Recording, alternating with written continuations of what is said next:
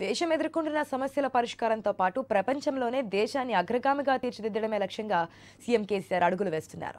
కేసీఆర్ ప్రారంభించనున్న జాతీయ పార్టీని ఆహ్వానిస్తూ జగన్నాథుడు కొలువు తీరిన పూరి పవిత్ర నగరంలో కేసీఆర్ సైకత శిల్పాన్ని ఏర్పాటు చేశారు. టీఆర్ఎస్ నేత అలిశెట్టి అరవింద్ కేసీఆర్ నిర్ణయాన్ని స్వాగతిస్తూ సైకత శిల్పి సాహు చేత కేసీఆర్ సైకత శిల్పాన్ని రూపొందింపజేశారు. పద్నాలుగేళ్ళ పాటు అలుపెరగని పోరాటంతో తెలంగాణ సాధించిన ముఖ్యమంత్రి కేసీఆర్.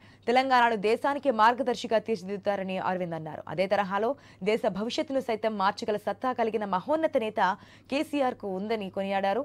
ఇక దేశానికి స్వాతంత్ర్యం సిద్ధించి డెబ్బై ఐదు ఏళ్ళు పూర్తయిన ఇప్పటికీ రైతులు పలు వర్గాలు ఎన్నో సమస్యలతో కొట్టుమిట్టాడుతున్నాయని ఆవేదన వ్యక్తం చేశారు.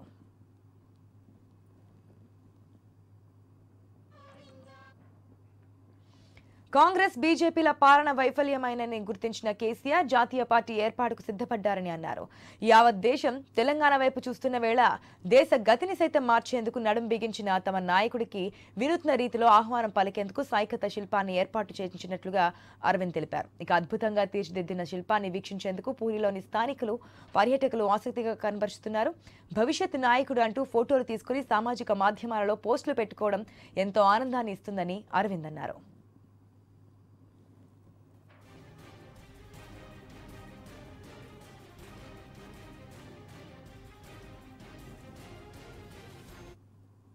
ఇక ప్రస్తుతం ఈ చిత్రం నెట్టింట వైరల్ అవుతోంది. ఈ సాయికథ శిల్పాన్ని వీక్షించేందుకు పెద్ద సంఖ్యలో స్థానికులు పర్యాటకులు ఆసక్తి చూపారు. ఫోటోలు వీడియోలు తీస్తూ సందడి చేశారు. కాగా దసరా రోజున సీఎం కేసీఆర్ జాతీయ పార్టీ ఏర్పాటు ప్రకటన చేయనున్నారు. పార్టీ పేరుతో పాటు జెండా పార్టీ లక్ష్యం పలు విషయాల గురించి సీఎం కేసీఆర్ క్షుణ్ణంగా వివరించారు.